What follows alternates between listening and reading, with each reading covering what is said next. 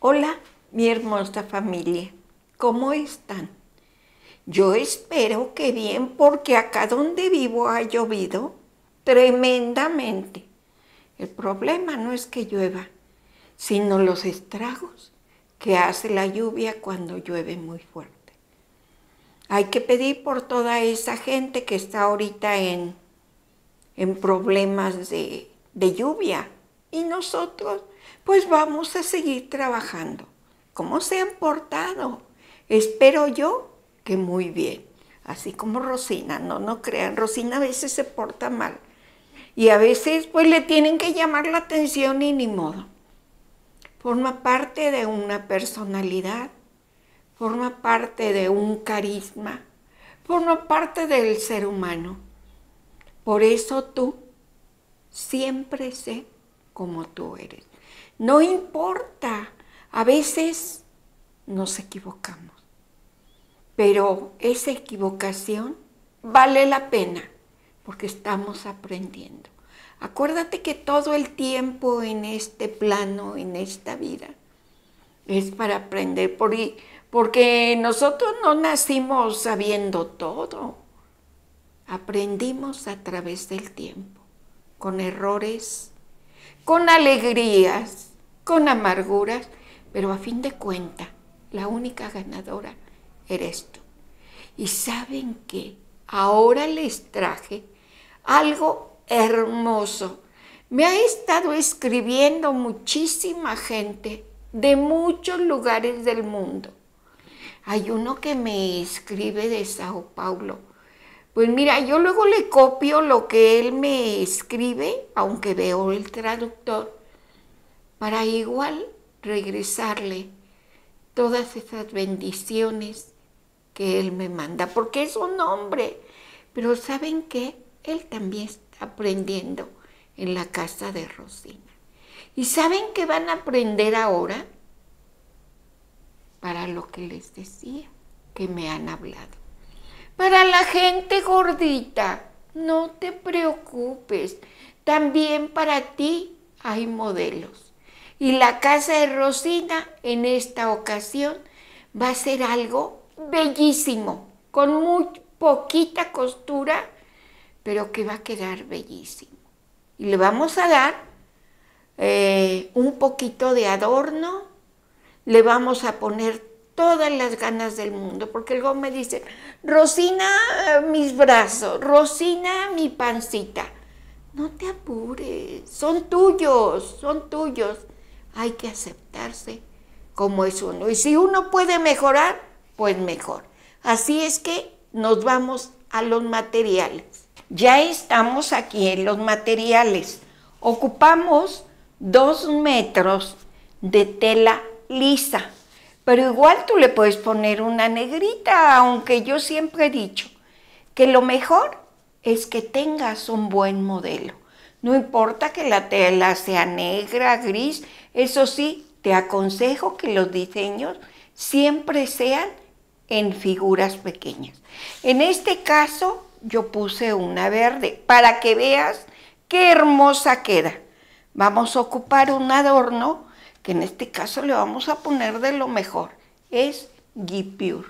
Es un encaje muy especial que está hecho y tejido de algodón, pero que es bellísimo. Vas a ver en dónde se lo vamos a poner. Ocupamos tijeras, ocupamos nuestra greda, nuestros infallables alfileres y nuestra cinta de medir.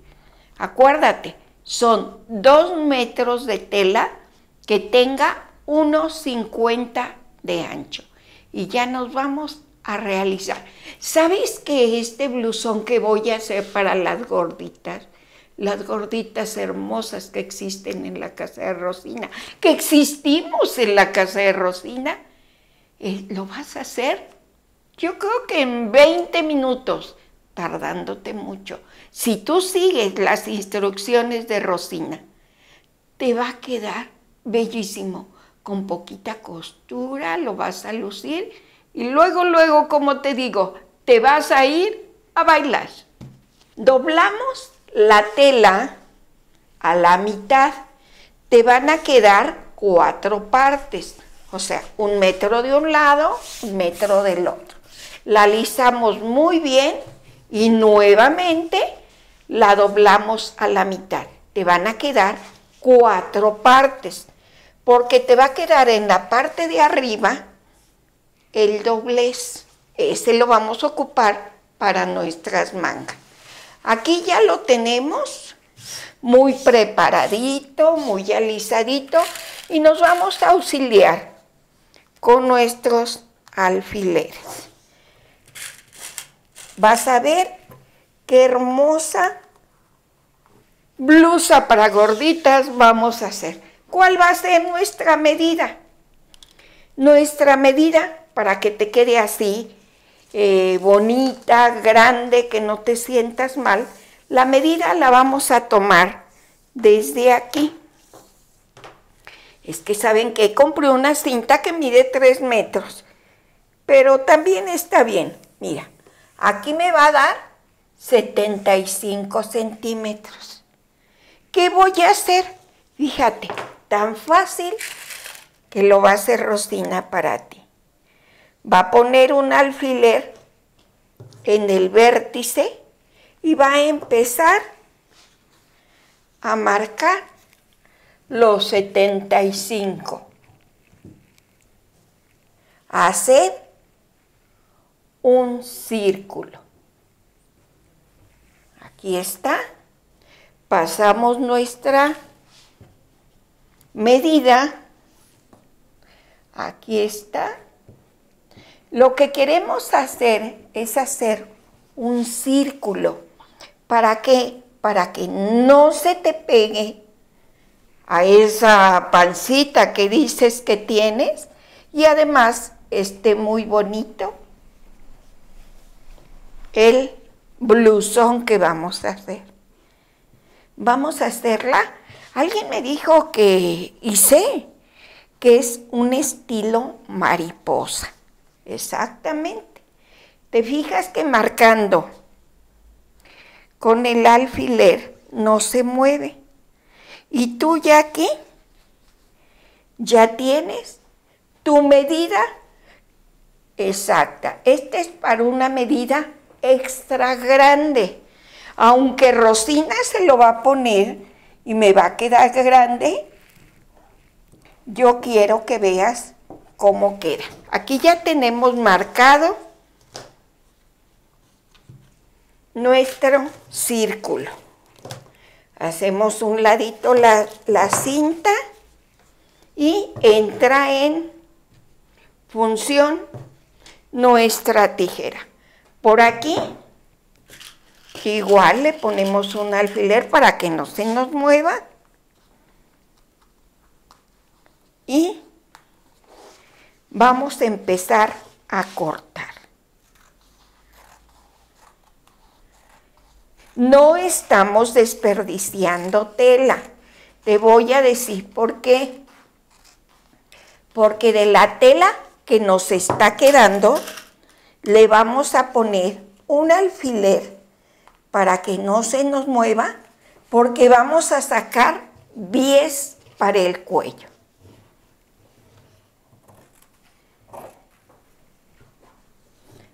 Y va, te vas guiando por las líneas blancas que ya habíamos marcado. Aquí está. Te va a quedar hermoso. Y ahorita nos vamos a ir a cortar lo que es el cuello. Aquí vamos a marcar de la puntita donde pusimos nuestra cinta hacia abajo vamos a marcar 10 centímetros. Y de costado vamos a ponerle 13 centímetros. Acuérdate este, que hay veces que la gente tiene un poquito ancho su cuello. Y aquí lo vamos a marcar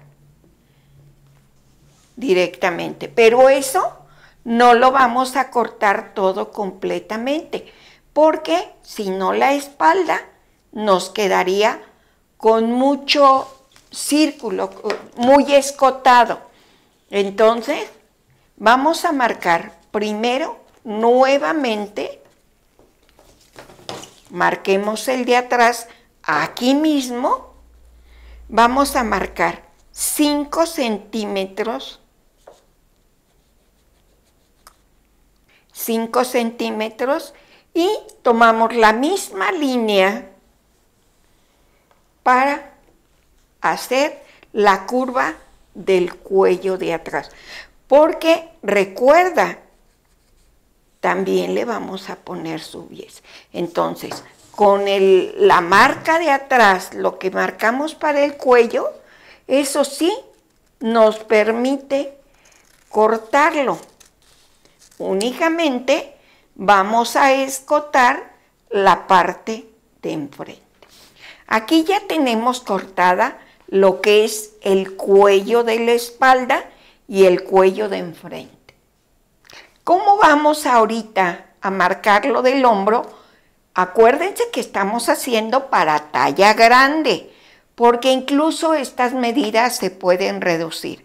Vamos a marcar el tamaño del hombro. Aquí yo le voy a dar 22 centímetros. Y aquí pongo mi marca. Ojo, estos 22 centímetros los voy a poner hacia abajo. En línea recta, hacia abajo. Aquí está. Vamos a marcar con nuestra cinta. Acuérdate que este tipo de gis desastre se volatiza con un cepillito, lo puedes quitar. Este punto que nos queda aquí, que te estoy marcando con, un, con una X, ese va a ser nuestra línea de costura. Va a ser una línea de costura sencillísima que nada más vamos a poner en escuadra, le vamos a dar 12 centímetros y aquí lo marcamos y damos 12 centímetros hacia abajo. Ahorita les voy a volver a explicar, no se apuren. Esto es lo único que va a llevar costura dentro de tu vestido. Nuevamente explico. Vamos a tomar la medida donde está el corte del cuello hacia tu hombro, que aquí ya le di 22 centímetros, aquí como está marcado. De esa línea de referencia la vamos a, a poner hacia abajo. Aquí está. Marcamos con nuestra misma cinta. La pasamos para que no te pierdas. Ponemos una X o un, una X. Y de ahí vamos a tomar la referencia para la costura, que le vamos a dar 12 centímetros. Y la marcamos. E igual del otro lado. Vas a ver qué hermoso blusón mariposa vas a hacer. Esto es lo único que vamos a coser y lo vamos a hacer del, del otro lado. ¿Cómo lo puedes hacer del otro lado? Para que no te pierdas. Con un alfiler le pasas donde está la marca y pinchamos en la parte de arriba y todo lo vamos a hacer con las puntas de nuestros hermosos alfileres. Ahorita te voy a enseñar para que te quede exactamente igual. La volteamos y aquí tenemos ya las marcas de lo que vamos a coser. Tenemos ya marcado nuestro hombro, bajamos nuestra línea, aquí, marcamos la X porque nos las está marcando nuestro alfiler y bajamos las líneas de costura. Queda con mucho, con mucho fuelle o con mucha, con mucho aire, se dice en costura, la manga para la gente de brazos gruesos, con busto grande y con pancita también. Estas dos costuras las vuelvo a remarcar, son las únicas que vamos a coser. Aprovechando la curva del corte del blusón o de la blusa, vamos a empezar a marcar 4 centímetros, dependiendo del ancho que quede el cuello. Acuérdate lo que te estoy diciendo, va a ser dependiendo de las medidas. Aunque estas medidas son universales para talla 38, 40 y yo diría que hasta talla 42. Aquí la tenemos marcada. Yo creo que más o menos nos llevamos entre 30 y 40 centímetros de bies. Y aquí la dejamos. Y vamos a cortar nuestro bies. Aquí ya tenemos cortado nuestro bies de 4 centímetros y nos vamos directamente a la máquina. Aquí vamos a empezar a coser, pero ponte muy lista, lo vamos a hacer por el derecho. Únicamente vamos a coser por donde marcamos como una L y sin quitar alfileres. Todo va a ser cosido por el derecho, lo que es eh, la sisa y lo que es la parte del busto. Y nos vamos a la máquina.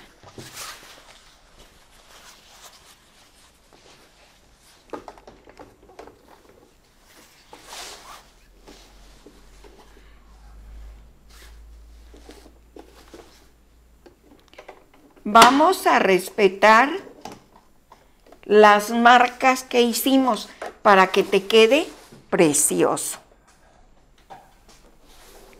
Acuérdate, al empezar una costura, siempre vamos a empezar, bajamos un poquito y nuevamente subimos.